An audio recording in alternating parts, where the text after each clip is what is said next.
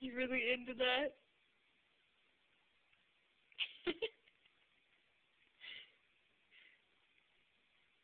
it's so funny how you hold on to things like that.